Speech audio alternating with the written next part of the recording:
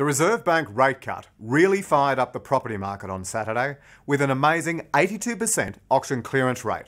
And this house, opposite the waterfront in Sydney's south, going for half a million dollars over the reserve. The deceased estate, on the market for the first time in a century, went for a massive 2.7 million. It's a home with plenty of character, but sadly, the buyer was a developer who will knock it down and put three duplexes in its place. The reserve was 2.2 million and the agent said the family would have actually taken 2 million.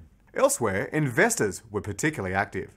Sydney Domain editor Anthony Laws went along to this auction in Marrickville, and four out of the five bidders were investors. The first home buyer had no hope, with the one better selling for 632,000. 632,000. Hold on. All finished. All silent.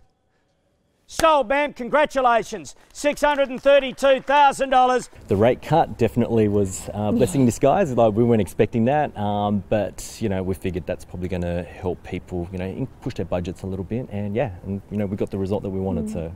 And reporter Camille Bianchi went along to the auction of this three-bedroom apartment in Camperdown, which sold for 1.25 million.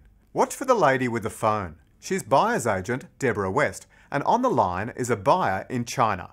On his behalf, she beat off the opposition to pay 156000 over the reserve.